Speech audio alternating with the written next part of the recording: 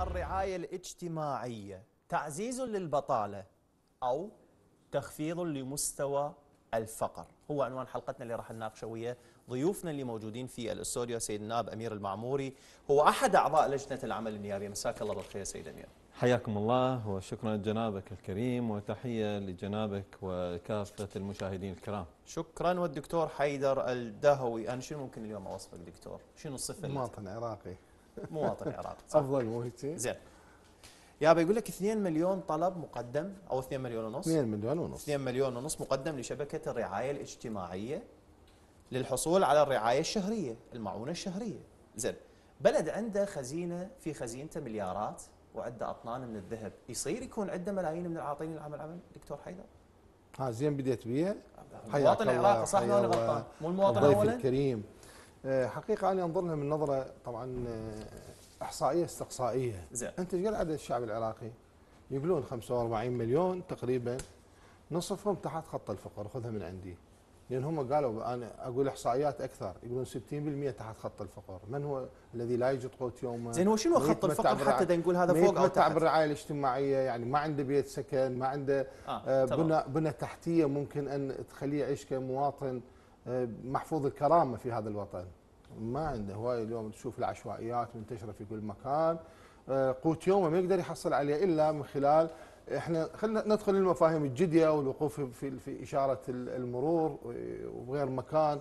ما عنده قوت يومه ما عنده طريقة للعمل أن يحصل على المال بطريقة تضمن له حياة حرة كريمة. وحتى اللي يحصل هذا المال ما يقدر يعني الدولار ما يقدر يحصله هذا اليوم.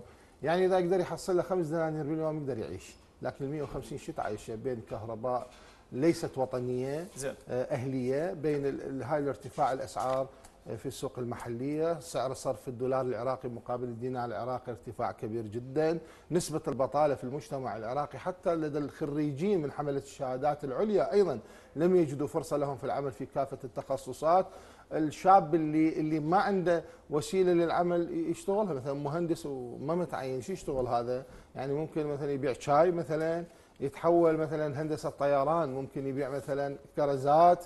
ما يعني هذه المعادلة إحنا تحت خط الفقر بمعنى أن هذا الإنسان لا تتوفر له البنى التحتية التي ممكن أن تؤهله بأن يكون إنسان محصن إنسان ذو كرامة إنسان لا يمد إيده لا يكون في حالة من العوز.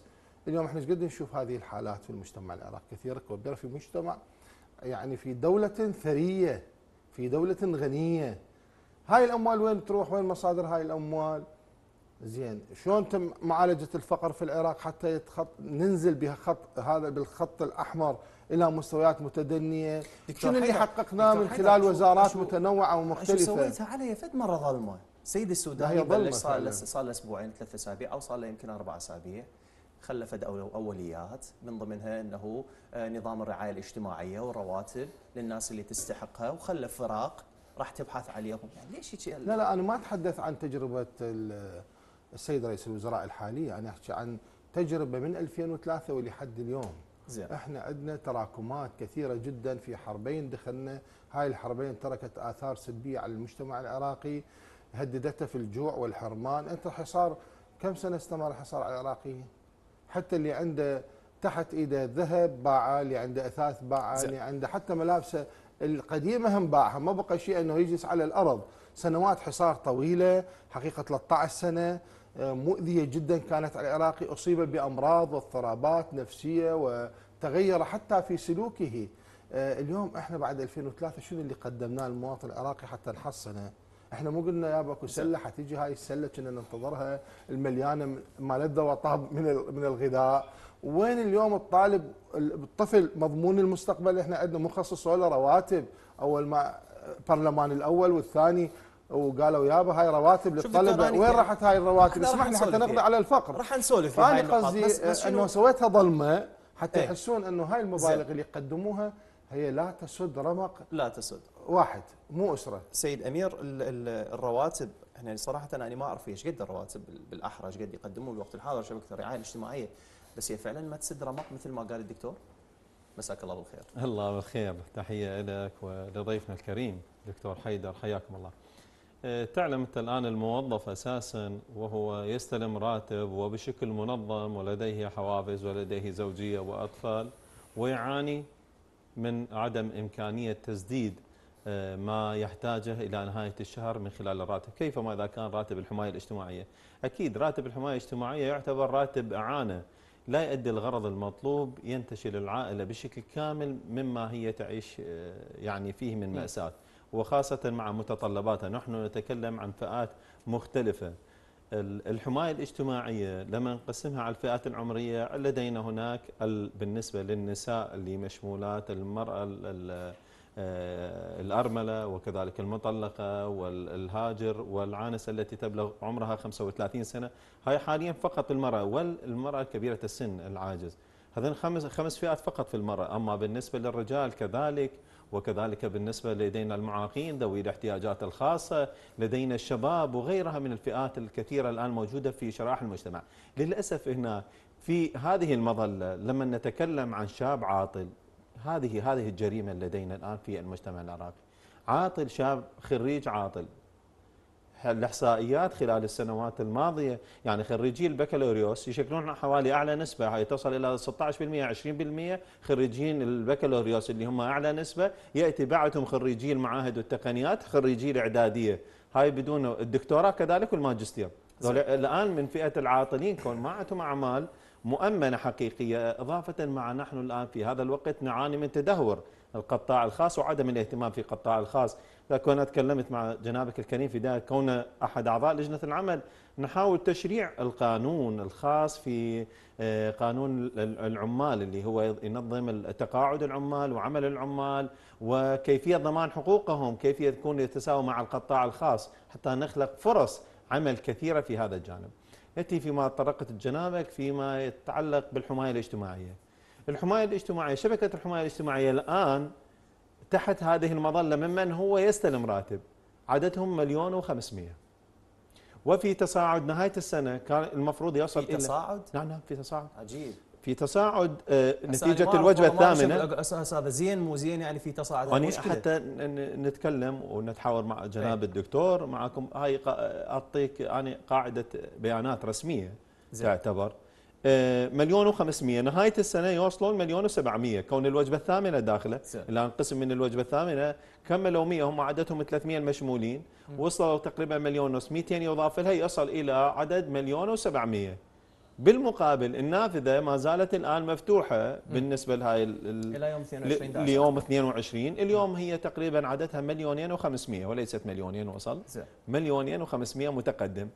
الآلية المتبعة في عملية الشمول إن الآن يقوم الباحث بعملية وفق استمارة معدة بالتعاون وزارة العمل مع وزارة التخطيط يقوم بعملية الكشف زيارة ميدانية إلى العائله المعينة ويرفع قاعدة البيانات. إلى وزارة العمل، وزارة العمل ترفع إلى وزارة التخطيط، هنا وزارة التخطيط تحدد إن هذه العائلة تحت خط الفقر أم فوق مستوى خط يبحثون فرق البحث؟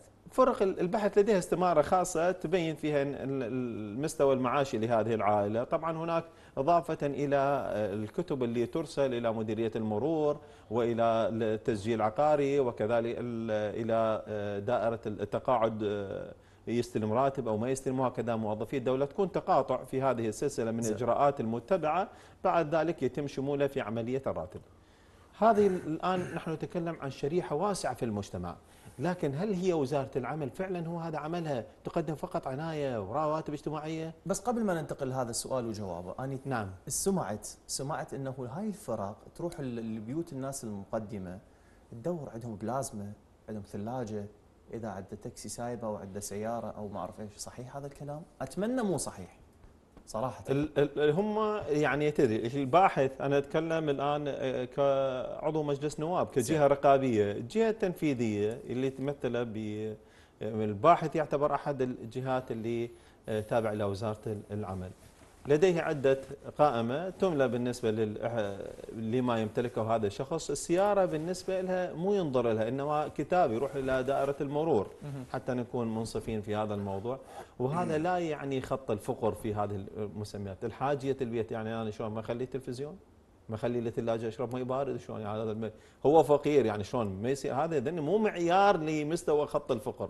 إتمنى مو صح. ال- ال- الكثير من العوائل للأسف إيه. البعض يستخدمها بهالشكل هذا. الكثير من العوائل هو لديه حاجيات كاملة لكن بنفس الوقت لديه أحد أفراد العائلة مريض وبحاجة إلى مبالغ. لديه احتياجات خاصة أخرى هو بحاجة زين. فعملية ال ال ال الآن اللي تجرى من وزارة التخطيط بالتعاون مع وزارة العمل في عملية خط الفقر ودرج هذه العائلة كيف يتم تكييفها. آه، فيها كثير من علامات الاستفهام حقيقة. زين. حتى في عملية المتبعه في عملية الشمول. يعني يمكن آه، يعني فرق بحث فرق تفتيش ما أعرف شنو ممكن واحد يسميها بعد. بحث. فرق إحنا بحث نسمي فرق تدور استقصاء. فرق استقصاء. تدور عن الحاله المعيشية والحاله الاجتماعية للعوائل العراقية واللي هم دون دون خط الفقر أو تحت خط الفقر أو ويا خط الفقر أو هم الفقر نفسه. والله ما أدري يعني سامحونا يا ناس بس والله العظيم مو بيدي. يعني هذا الموضوع راح يتطلب جهد ووقت لربما زين شلون ممكن أنا اليوم أختصره؟ أو بغير بغير صيغة. إحنا اليوم هذول الناس اللي هم ويا خط الفقر أو دونه يحتاجون أساسا فرق للبحث.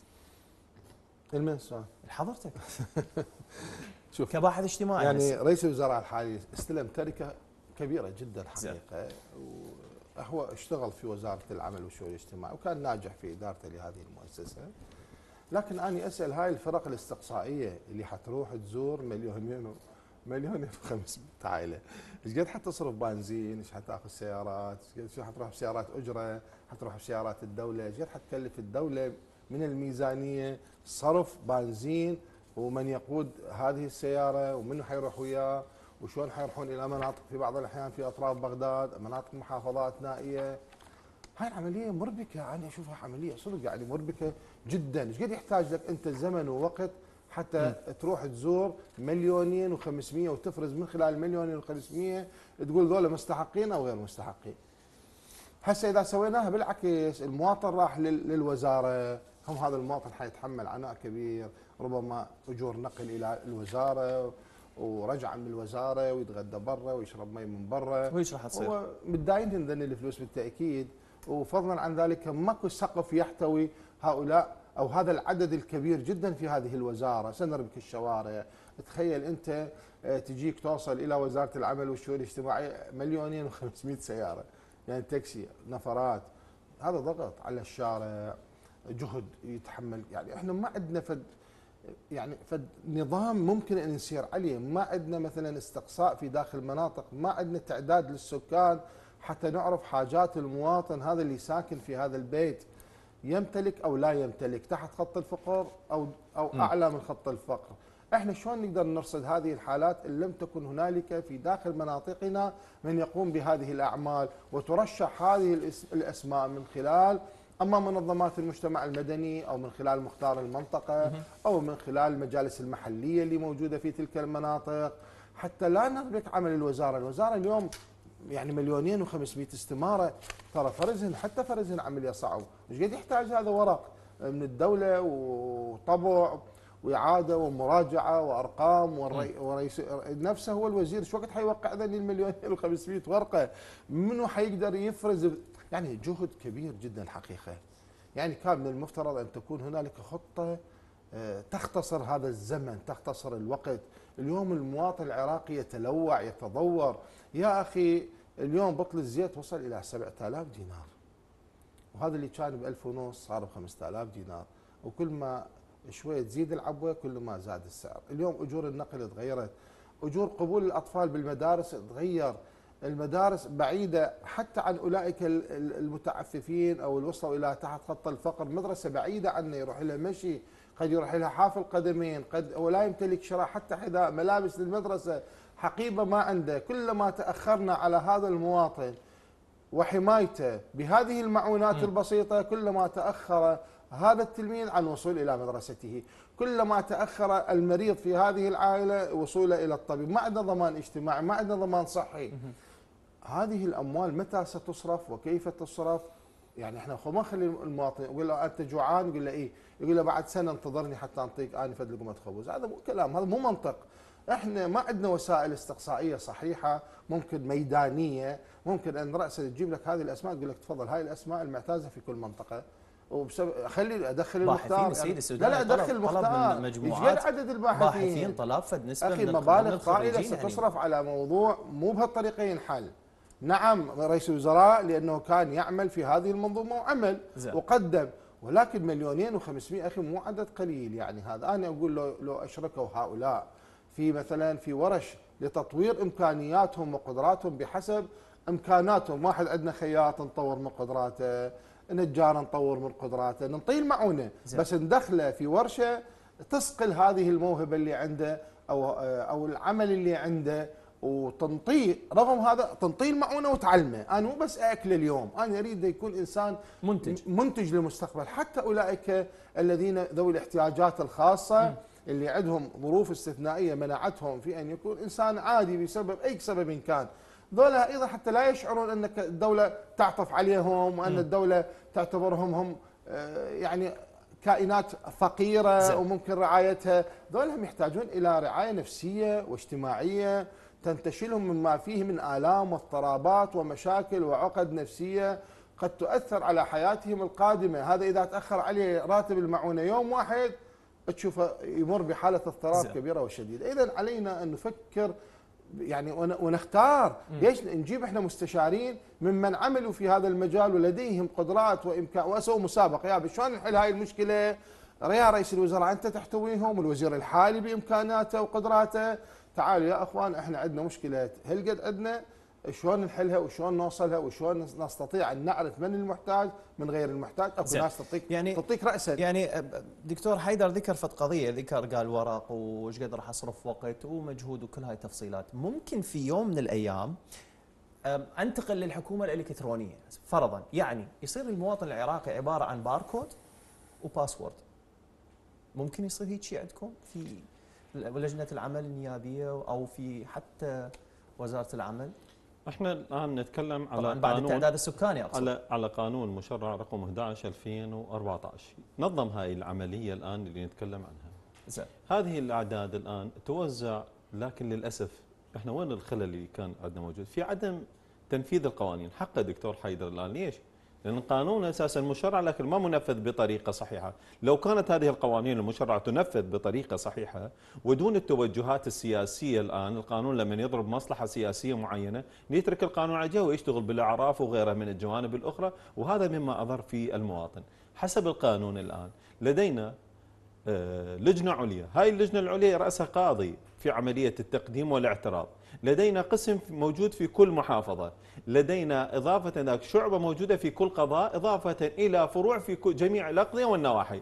هذه الفروع هي من تتولى عملية الآن. المليونين نقسمهم على 18 محافظة على جميع الوحدات الإدارية اللي موجودة.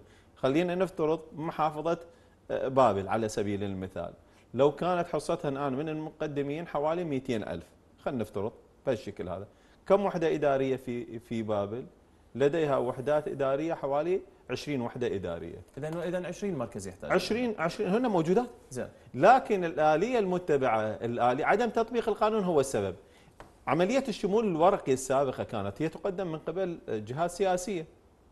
يعني ما كان القسم هو هو هو من يستقبل ال- ال- ال- العائلة الفقيرة ويبت. حسب القانون شهر ترجع لك النتيجة أن أنت مقبول أو غير مقبول.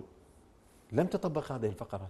ليش؟ منو تدري أنا عندي عمليات تفتيش وعمليات ملاحظة كثير من هذه الأمور. هناك أوراق كثيرة متروكة من قبل ال- ال- المؤسسات ولم تتم عملية الشمول ولم تتم عملية البحث أساسا على هذه العوائل. للأسف وأنا أقولها بمرارة والكثير من هذه الجوانب هناك اتجاهات سياسية ذهبت بدعايات انتخابية وليست لغرض خدمة مواطن حقيقية. على سبيل المثال شنو الذنب المصاب المريض العاجز؟ ومن هو من مصاب بالتوحد؟ ومن هو من لديه إصابة عجز كلي؟ وغيرها من الإصابات بالنسبة للإصابات المنغولي وغيرها. تدري هاي الفئات الكثير من ما مشمول؟ والسبب يعود إن هذا هذه الفئات الشرائح المريضة يقوم بعض بعض السياسيين الضعفاء النفوس في هذا الموضوع. يعتقد انه هذا ما راح يعرفه. مو مثل الشاب لما يعرف وراء دعاية انتخابية فيذهب إلى عدم شمول هذا ويعطي الأولوية لمن هو يدرك اسمه ومن يعرفه حتى طبعا يكون حضرتك. تعرف انه إنه آه، حتى في دول أوروبا هذول اللي أصحاب الأمراض لهم حتى على أولوية في. هذا الموضوع. أنا لدي سأ- الكثير مسلم. من هذا الملاحظات في تنفيذ هذا القانون. أساسا وجهة كجهة رقابية أقوم بدوري الآن اللي مطلوب من عندي في هذه هذا جانب. أما الجانب الآخر الآلية المتبعة في عملية الشمول تكلمنا عليها بخصوص علامات الاستفهام. آلية معالجة الفقر الموجودة. بمن تتعلق الاستراتيجية الموضوعة بالعراق للأسف استراتيجيات متغيرة مع الحكومات. ما تجي حكومة تكمل استراتيجية الحكومة السابقة؟ كل حكومة لها رؤية. الآن أنت وصلت إلى مرحلة 50% ليش يا أخي من تجي تك- تبدي لي ت- ما تؤمن بديك الاستراتيجية ولا الخطة اللي موضوعة تبدي من جديد من الصفر؟ ولذلك تلاحظ عملية المفروض مع المعالجة الموجودة كل ما تتقدم تقل نسبة الفقر لدينا. لاحظ لما نجي على سلسلة تاريخية الدكتور كذلك معي 2008 كانت نسبة ال- ال- ال- ال- الفقر 14 على سبيل المثال بالمية. زين. ال 2012 انخفضت صارت 9% 2014 صعدت صارت 16% تذبذب. إيه ما شوف 2018 أنا عندي صد- 16% 2022 عندي 31 يعني شنو التخبط؟ وين الخطة الموضوعة؟ وين الاستهداف الحقيقي للشرائح الحقيقية؟ يعني أنت تزيد لي نسبه الفقر أنت تقول أنا مستهدف هذه الشرائح، إذا مستهدفها المفروض تخفض عندي. اذا الخطط الموضوعة أساسا الخطط الموضوعة هي مو خطط صحيحة. لذلك أنا دا أقول لك أمير. معالجة الفقر أستاذ الفاضل أي. لا تتم فقط من الحماية الاجتماعية هناك أماكن تمكين موجودة على سبيل المثال كل الدول والمنظمات والعالمية تأتي إلى عملية الشباب استقطابهم إدخالهم إلى ورش أعطاهم منح وقروض فتح مشاريع مؤمنة هسه المشكلة مو راعية. لهذا المشكلة المشروع. أكو ناس أساسا عندهم رواتب أساسا عندهم بيوت ملوك أساسا عندهم نعم. آه قيعان عندهم حالتهم متمكنة بس برغم من يجي دكتور حيدر ياخذون رواتب حماية اجتماعية هسه هذا حسابه وين ما أعرف يعني ماذا خلي ياخذ هم فلوسه فلوس الدولة بس دا ياكل حق الآخر. أحسنت. الطرف الثاني يعني إحنا مع الأسف الشديد إذا لم يكن له وازع ديني وازع أخلاقي قيمي يعني شو شو لا يمكن هذا؟ يمكن يمكن يجب أنا أختلف وياك على هاي هنالك- الحيثيه دكتور. المفروض أكو هناك سياقات ومحددات ومنو اللي يحتاج ومنو اللي ما يحتاج بعيدا عن الدين والأخلاقيات. أنا أقول أفضل. كلمات لطيفة وجميلة ويقول أكو قوانين كذا. أنا هسه دا أحسب أربع ساعات قاضي يقضيها في مراجعة هذه الأوراق المقدمة له على أساس أنه تحت خط الفقر العائله قدمت اوراقها تدري قد يحتاج له؟ 240 دقيقة إذا داوم أربع ساعات. زين بس باب اللي جناب النائب ذكر أنه 200 ألف مو تمام؟ أفترض تفترض نعم. تفترض مم. 200 ألف دقيقة. زين شو وقت حتنحل المشكلة مالتهم دول؟ إذا دقيقة دقيقة كل واحد هاي بالاعتراض آه، القاضي يروح له أي. فقط الاعتراض. زين ذول الآخرين نعم. اللي يفرزون هاي الاستمارات كم دقيقة يحتاج كل استمارة؟ بس قراءتها. أنا قدرتها بدقيقة في 200 ألف دقيقة. هذا هذا جهد يعني جبار إذا صار فعلا بهذه بهذا المستوى. ممكن مداخلة مع الدكتور إيه، لا، في لا، هذا لا، الشيء إيه، دكتور إحنا- أتحاور. أحسنت. بس الطرق- أركز أنه الطرق- المواطن الطرق محتاج. المتبعه محتاج. المتبعة عالميا. المواطن ما يطرق باب الدولة. الدولة تطرق باب آه المواطن هو هذا أنا عندي تابلت موجود تاب إيه. موجود نظام يدخل بال بالموبايل حتى اتاكد الآن أنت طرقت عن عوائل ما مستحقة تم شمولها هو ما طلع لها العوائل الباحث ما وصلها. هناك جهات متنفذة. استخدمت هذا الباحث نعم. لأغراض وأغرته تم شمولها لأغراض سياسية. طبعا وهذا أساسا جاي في هذا الموضوع. أي. أما الآلية المتبعة أي. يذهب هذا الباحث من خلال هذا الجهاز يعبي المعلومات المطلوبة ويرسلها مباشرة للوزارة. ماكو تقديم. أنا أقول هاي العائلة مسح عندي لهذه المنطقة الحي اللي موجود بأكمله أنا أعرف منه محتاج الكثير من العوائل لا يدرك عملية استخدام الإنترنت لا لا العوائل المناطق 10,000 النائية حتى. المناطق المناطق النائية والفقيرة هذه خارج كيف يتم استهدافها من خلال المسح الميداني اللي. موجود وهي طريقة نعم. ناجحة زين متبعة زين أنا شلون يعني أنا أظل ال 20 سنة الجاية أظل أسوي مسح ميداني وجهد. لا بشري المسح. الميداني تحديث فقط يصير عليه زين نعم هذا والا هو بالبداية يصير قاعدة بيانات ثابتة وأنا لديك كدوله المفروض الدولة تكون راعية ل ل سيد لمجتمع النائب هاي وشعبها. يذكرني بالتسعينات عندنا سيارات. لا العفو بس. حتى شوي نخفف على المواطن. عندنا سيارات بس ما عندنا نشتري tire إلها. التسعينات مو صارت؟ نعم، خليها نعم. على الطابوقة. ما. عندنا نشتري صحيح. tire لأنه ننتظر tire الديوانية إيش وقت يطلع صحيح. وكذا وعطلنا عن العمل بالحياة اليوم إحنا دا اشبه حياتنا مثل هاي. عندنا بيت بس ما عندي أصرف. ها عندي وظيفة ومثل ما قال السيد النائب بس وظيفة ما تجي ما تجيب همها. يعني يقول لك أنت تأخذ الراتب منها توزعه بل أن بعض الموظفين يأخذون منهم بدوائرهم والله نصلح الحمامات والله نبني لكم فلان موضوع. يأخذ من الموظف. وهذا يغطي على فساد الدولة. ها؟ فساد بعض بعض المسؤولين السابقين الذين لم يحاسبوا. اللي الأموال تصدرت للخارج وصار عنده كذا سيارة وصار عنده كذا بيت وصار عنده كذا قطعة أرض وصار عنده مزرعة مال دواجن ودخل بها معامل ومصانع واستثمارات. والمواطن الفقير محجوب عنا هذا. واليوم هسه الآن بده يسوي لي شغلة جديدة حتى يزيدون خط الفقر. إيش سووا يقول لك الموازنة الجديدة والرواتب الجديدة أيضا حتنقص من عندها. هذا إيش حتسوي لك؟ مع ارتفاع سعر صرف زين هي إيش قد أصلا المخصصات هسه إحنا أساسا يعني. إحنا كل هذا نريد نوصل إلى الفقير. إلى الفقير. هذا الفقير اللي بدأ يقول لك خليه يروح يشتغل إحنا هذا نعطيه عانات حماية. يدري إلى متى مي ما يوصله نظيف للبيت مالته. إلى متى يبقى الإنسان بلا سقف؟ إلى متى الإنسان يبقى ما عنده باب يسدها عليه ويقعد؟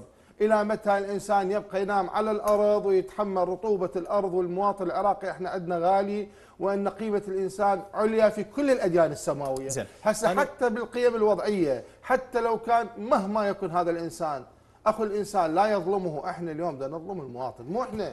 نعم يجوز انهم اظلمه في جانب معين حينما أركب سيارة فارهة وألبس ملابس حلوة ويقول لك دول يتحدثون ولابسين ملابس من أفخر الثياب وساعاتهم أجمل الساعات وموبايلاتهم وأني مهتوك ما عندي وذول دي يحجون دي على ألمي. دي يدوسون على ألمي زيادة. إحنا شلون نحل هذا الموقف؟ يا أخي إحنا ما عندنا إحصائيات في هذا البلد. لحد الآن إحنا ما سوينا تعداد سكان. دكتور تعداد والله السكان. والله الموضوع كلش بسيط. يعني اولا كلنا السكاني. نقول. يعني خليني أنا اليوم مواطن أنا اليوم مو اعلامي أنا اليوم مواطن عندي تجربة خارج العراق. هاي التجربة عشتها شخصيا. هاليوم أنا أسوي حكومة إلكترونية. شلون؟ كل مواطن كل إنسان كل هو أعتبره معداد أنتم كلكم تعالوا أشغل البنوك هيك بهيك حال. البنوك العراقية طبعا مو بس فقط التي بي اي اللي تابع لرئاسة الوزراء وإنما كل البنوك. تعال أنت كل مواطن عندك اليوم كارت مال البنك مالتك. يعني أكو دول بأوروبا يمكن صار لي يعني فترة طويلة ما شايف فلوس نقد بيديهم. ماكو نقد. كله بالبنوك كله عبارة عن أرقام. كل مواطن عنده هذا الكارت مالته عنده هذا النقد مالته. الكارت راح تنباقي الفلوس مالته وأنا ما ندري. هسه شو نسوي له؟ بالله؟ بس اصبر. هسه مو أنا لازم نسوي شيء. أنا دا أقول فاليوم نقعد من الصبح نلقى ما عندنا خزينة لأنه انسرقت كلها من البطاقات. نقعد؟ نحتاج نحتاج أنا عندي كارت. حضرتك عندك كارت حضرتك عندك كارت. ما عندك شغل؟ okay على عيني وعلى رأسي. تجي تعال أنت ليمي أنا اليوم كدائره كدائرة اجتماعية جيب لي أوراقك وجيب لي كشف الحساب مالتك مال ثلاث أشهر اللي فاتت. لازم شنو هذا؟ باتفاق يكون ويا حتى أصحاب العمل نفسهم. أنت بعد ماكو شيء اسمه باليد لأنه باليد تصير بهواية تفاصيل. ممكن يقول لك ياخذ باليد فلوس باليد يسموها أسود شغل الأسود. بعد ماكو شغل أسود أحوله كله إلكتروني. مو إلكتروني مو هو والله والله العظيم هو خدمه الدولة قبل ما خدمة المواطن هاكر تصير هاكر أستاذ علي كيفك ويانا هذه. ما شلون والله بسطنا الطريقة لا الطريقة المتبعة جنابك الكريم اللي تفضلت بها. هي آه، بالعكس طريقة تنظيمية صحيحة متبعة في أغلب الدول. الآن إحنا عندنا الماستر كارت لكن آه، لحد الآن ما وصلنا إلى مرحلة الشراء عن طريق الماستر كارت ومفعل. هاي هم ثقافة ونوع من أنواع الحوكمة الآن. الحوكمة الإلكترونية المفروض نقضي بها على الفساد الموجود بمؤسسات الدولة. لحد الآن لم تعمل الدولة بشكل صحيح على نظام الحوكمة وهو جدا مهم حتى في عملية الآن الحماية الاجتماعية. تخلو من الفساد؟ شو فيها فساد؟ ما نقدر؟ نحكم أستاذ؟ فلا لا موجود. أنا يعني- بالنسبة كدور رقابي عندي الكثير من المؤشرات وعندي ملفات مفتوحة في هذا الجانب وغيرها من الجوانب الأخرى من مؤسسات الدولة. عدم الحوكمة أساسا يعني باب من أبواب الفساد، الآن اطرقت على آه، سرقة القرن، سرقة القرن. الآن من منهم سيطر على المنافذ الحدودية والوصولات والقطوعات وكيف تدخل هذه، ماكو حوكمة، مبالغ بايادي غير أمينة للأسف. نصل إلى هذه المرحلة. المعالجات اللي اللي تتم يجب أن تكون يعني متنوعة مو بعدد ال- ال- الدوائر ال- ال- الرقابة. لا روح المواطنة الموجودة الحقيقية وتنظيم. تنظيم نحتاج إلى تنظيم. معالجات الفقر الآن. هسه. إحنا الآن إحنا هو أسباب الفقر شنو هو؟ غير نعالج أسباب الفقر. حتى نجي مو نعطي فقط يا اعطي اعطي مبلغ. وغير أشوف السبب المشكلة شنو هو. جذور المشكلة شنو؟ أجي أعالج جذور المشكلة وبعد ذلك أذهب إلى ال- إلى النقاط الأساسية والجوهرية في هذا الموضوع. ال وزارة العمل وكذلك الوزارات المعنية. إحنا الكثير من معالجات الفقر على سبيل المثال الآن العائلة اللي مشمولة آه، براتب الحماية الاجتماعية أو هو نقول عليها العائلة تحت خط الفقر. لديها الكثير من المتطلبات. هل فكرنا في عملية إن يكون لديها جانب في التعليم ومساهمة بالنسبة للتعليم الأهلي بالنسبة للمدارس الأهلية؟ بالنسبة للدخول في الجامعات بالنسبة لزوجهم في معدل مثلا على سبيل المثال بعض الطلبة أساسيات الحياة بعدين جزء بعدين جزء. أنا الان أنت وفرت له أعطيته راتب 250 وابنه يداوم مدرسة أهلية يدفع مليون ونص بالشهر بالسنة ما سويت في شيء أكو مقومات أخرى المفروض تكتمل معها، الآن يجب أن تكون لهم نسبة هذه العوائد تكون لها نسبة في عمليات مثلا على سبيل المثال المنحة المجانية للتعليم. المنحه المجانية. إلى نسبة المفروض وتؤمن هذه النسبة، هم من حقهم، الكثير الآن من هذه العوائل شوف هاي العوائل الآن اللي نقول عليها العوائل الفقيرة. شوف معدلات أولادها إيش قد تطلع، معدلات جدا عالية، 97 98 لكن ما حصل طبية، ليش يحرمه؟ ما يقدر يدفع آه، ما يقدر يتنافس ويدفع المبالغ المطلوبه وهو صاحب خبرة، المفروض هنا ارعاه هسه خلينا أنتشلة من هذا المكان، أرعاه يكون هو إلى الأولوية الأساسية في الدخول في المنحة المجانية. وهاي الجامعات الآن تقدم منحه مجانيه والآن هسه وقتها وقتها هذه المفروض أهتم في هذه الشرائح. إحنا لازم أكو أكو معالجه تصير مقومات الحياة الأساسية في هذا التعليم جزء أساسي تعلم أنت الآن من أسباب ال- من من أسباب ال- ال- الهروب من المدارس تسرب- تسرب نعم. نعم. أسباب أحد أسباب الفقر الفقر زين يعني ذكرت في قضيه سيد أمير إنه لازم أوفر ولازم أسوي ولازم كذا مقومات الحياة العادية. اليوم نفرض جدلا مستقبلا. هذول الناس تمكنوا الله سهل لهم بشغل. صار عندهم فد مورد ثابت. الدولة شو راح تعرف مستقبلا؟ إنه هذول الناس تمكنوا؟ بالمقابل لو فرضنا جدلا إنه الراتب ظل مستمر ينزل على الكي كارد. في حال إذا كان عندهم كي كارد طبعا يستلمون به. اولا قلت لك إحنا قاعدة البيانات، قاعدة البيانات يجب أن تنزل إلى المناطق. وهاي تيجي تراكمية. مثل ما قال السيد النائب أستاذ أمير أنه تصير تراكمية تراك تتراكم تتراكم المعلومات إلى أن نعرف هذا المواطن وصل من خلال ربطه بالدائرة النفسية، شلون يعني؟ بالدائرة؟ أنا إذا علمته مهنة وشفت أنه دا يشتغل ها؟ ليش ما أخلي نسبة أرباح ترجع إلى وزارة العمل والشؤون الاجتماعية؟ أقول له أنت وياي يا أخي إحنا حن ها؟ ما أميل إلى الشخص الواحد اني خاصة في نوع من التجارب. أنا أخلي شراكات تصير بين مجموعة ممن يمتلكون مهنة مهنة واحدة مهنة واحدة. نجار كم نجار تعالوا سووا لنا شراكة ونشوف نسوي مسابقات بيناتكم. أيهما بالإمكان أن يستثمر في هذا المجال ويجي بأرباح. أنا مو انطيني فلوس أقول له روح سوي. سوينا افران صمون مو هاي افران صمون ضاله موجودة. هذا مو مو مو عملية إنتاجية هاي استهلاكية. أنا أروح إلى إلى أماكن أستثمر بها من خلال وزارة العمل والشؤون الاجتماعية. من أفعل أدعم هذه الشريحة. اولا أنا صنعت مثلا هسه لو هاي المليونين ونص آه، أستاذ أمير لو كل واحد منهم خير دشداشه مليونين ونص نعم. دشداشه. أقدر أسوقها بالمجتمع؟ أقدر لو ما أقدر؟ ستائر اليوم اذا تروح أنت تريد تسوي لك ستا- ستائر هاي اليوم أبسط ستائر يمكن 250 ألف دينار. لو علمه يخيط ستائر إنتاجي. لو علمه شلون الآن يسوي مثلا هاي تخم القنفات. مجموعة يشتركون يصنعون هذا تخم القنفات. تدري تخم القنفات أقل المعلومات هاي. الفكرة اللي دا تحكيها دكتور أنا آسف المقاطعة. أي. هاي الفكرة آه، الدول تنطي عليها شهادات خبرة مستقبلية. نعم أنطي شهادة فبالتالي خبرة. إنه يكون هم ازودت بشهاده مجال. خبرة. أني أجيب مجموعة من الأرامل من المطلقات وادخلهن في ورش خياطة. واقول لها انتجي هالقد إلك هالقد انها وإحنا نسوقها ما لك علاقة بالموضوع. لأن هي ما تعرف تسوق. وين تسوق؟ غير بمنطقتها جزء ما حد يشتري من عندها زين. زي من ينطيها الأزياء والشكل والمنظر اللي يتناسب وطبيعة المجتمع اليوم العراقي؟ زين. هاي من ينطي ينطي الخبراء اللي قاعدين في وزارة التع... ال- في وزارة العمل والشؤون الاجتماعيه يقولوا لي يابا هذه الموديلات اتفضلوا بدي اعلمكم عليها. انتجونا هكذا نوع من الموديل يضاهي الصناعة مثلا الصينية. هسه كنا لابسين لو صيني لو تركي لو ما أدري من هاي دول الجوار. ما عندنا ثوب عراقي. اعطيني قميص عراقي بدلة عراقية. بتروح تقول اعطيني بدلة؟ مال فلان دولة. زين ليش ما أضاهي في هذا الموضوع؟ وأعطيها ماكينة الخياطة ويقعدون أيضا في مكان معين ويسوون شراكات. وكل مؤسسة تحقق نسبة ربح؟ والله هذا البنك المركزي العراقي زين. وأنا قعدت وياهم. ممكن أن يدعم هكذا نوع من المبادرات. ودعموا شخص كان يبني مساكن شعبية للفقراء وفعلا دعم البنك المركزي العراقي بمبلغ حتى يطور من هذه الإمكانية في الإسكان. أنا اليوم أحتاج أن تتحول وزارة العمل، أنا مو انتقاد بس وزارة العمل، ما عندي مشكلة ويا وزارة العمل والله ما. عندنا مشاكل. لا لا أنا ولا. عندي رئيس الوزراء. مو مشكلتي هذا، أنا مشكلتي المواطن العراقي اللي دا يتراجع، دا ينكفئ، دا يمرض، ابنه ما يروح للمدرسة، ما عنده سرير ينام عليه، ما عنده حنفية ينزل بيه، أنا نسبب بيوتنا ما يوصلنا مي. ما يوصلنا مي. إلا مطر الكهرباء ما توصلني وطنية. اسميها استعمارية.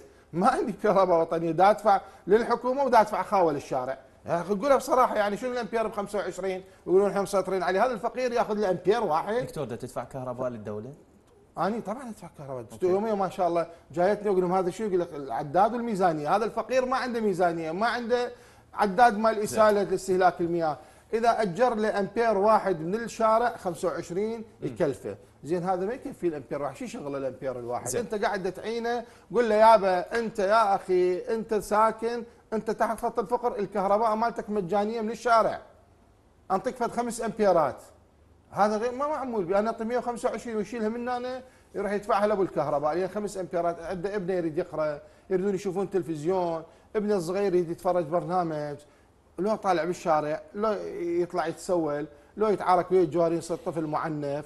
وما عندنا حقوق إنسان وضاع حقوق الطفل ينادون تحكي وتقول. لك لا والله انت أنت شنو؟ مدى تحكي بانصاف يعني بالنسبة لي يعني في وقتها؟ في لا لا؟ أنا علي. في وقتها في زمن آه، الدكتور عبد المهدي لما اراد يسوي الاتفاقية الصينية الشعب طلع ضده وما أعرف إيش وكنا نوقف كل الاتفاقيات. هسه الموضوع راح من الحال سبيله بس ارجع. أرجع لهذا الموضوع آه، سيد أمير سيد أمير آه، شلون راح تعرف الدولة مستقبلا إنه هذول الناس اللي أنا أدا أوفر لهم رواتب شهرية هذول الناس وصلوا للاكتفاء الذاتي. في حال إذا الدولة ما كانت عندها قاعدة بيانات أو حوكمة أو حكومة إلكترونية. هو إحنا عفوا إحنا ما نطلع عليه اكتفاء ذاتي، الاكتفاء الذاتي يعني انتهى اكتفاء. ذاتي معناته اشتغلوا صار عندهم مورد. أكو تقييم اكتفاء. أكو تقييم مستمر موجود لكل عائله يسمونه البيان السنوي. هذا البيان السنوي تحديث هو لل للعائله شجرة عليها من تغيير. طبعا تحديث مستمر كونه صار متغيرات صار موظف أو غيره فيتم استقطاع الراتب مالته بناء على ما يقوم به الباحث. كل كل وحدة إدارية يوجد فيها قسم معين يسمى هو آه، بالباحثين. هذا طبعا مشرع بقانون لكن للأسف هم كذلك ما مفعل بالطريقة الصحيحة. هذه واحد. الثانية آه، عملية كل مشروع لما يبدي يبدي مقترح. هذا المقترح الآن لما نريد التنفيذ يبدي بعملية تنفيذ. بعد التنفيذ عندك ال- ال- النتائج شنو صارت به. وراء النتائج هذا أحتاج إلى مراقبة دورة مشروع كاملة.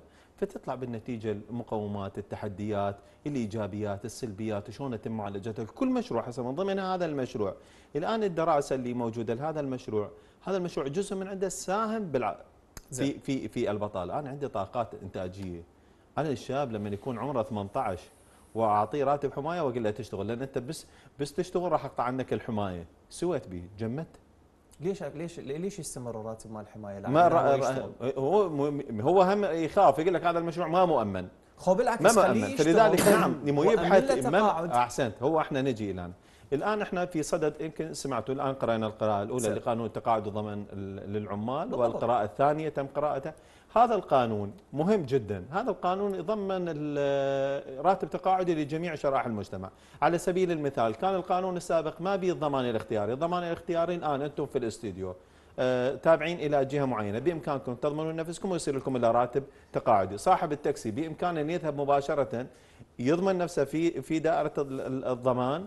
وإلى راتب تقاعدي وخدمة محتسبة دون ربع العمل ما يحتاج. هنا تكون الدولة كفيلة بدفع 9% عن الاستقطاعات التقاعدية اللي موجودة عنا وكذلك صاحب المحل والمحال التجارية والحداد والنجار وغيرها. هاي امتيازات له. هذه الخدمة تنقل إلى لغرض العلاوة والترفيع والتقاعد عندما يذهب إلى القطاع الخاص، يعني أنت لما تكون عملك في هذا المكان عشر سنوات وتعينت بعد العشر وياك. سنوات، تنتقل معاك هي ودرجتها ال- ال- ال- ال- ضمن الدرجة الخامسة، السادسة، السابعة، يعني خدمة منقولة لغرض العلاوة والترفيع يعني هذا. طبيعي المفروض هذا بنفس الوقت بدعم إلى إلى الشركات.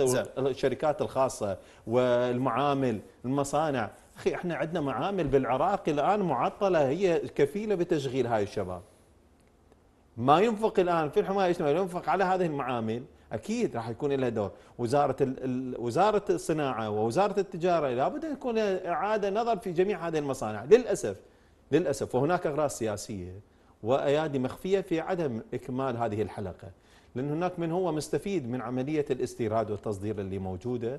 في حال تشغيل هذا المعمل سوف يقف لازم عملية ال- ال- الاستيراد. أنا علي أن أحفظ المنتوج المحلي والصناعة الوطنية الموجودة داخل البلد. وهذا كان مؤمن سابقا كان العراق عنده اكتفاء ذاتي بالصناعات ال- أغلب الصناعات الآن نرجع إلى عملية الاكتفاء الذاتي. أغلب الصناعات كان عندنا اكتفاء ذاتي. البعض منها اللي هو ما يسد ال ال إن كان المعمل الم الم هو ما ما عنده الطاقة الإنتاجية ان هو يغطي كافة المحافظات.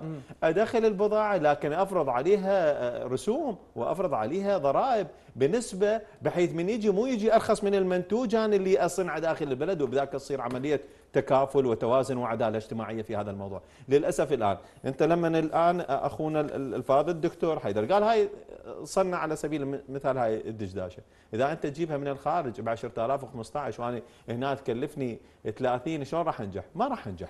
فيجب أن تكون هناك عملية دراسة لهذا الموضوع والقوانين المشرعة وتشريع قوانين تحد من خط الفقر وكذلك تقوم القطاع الخاص الذي يعتبر الآن منافس أساسي للقطاع العام.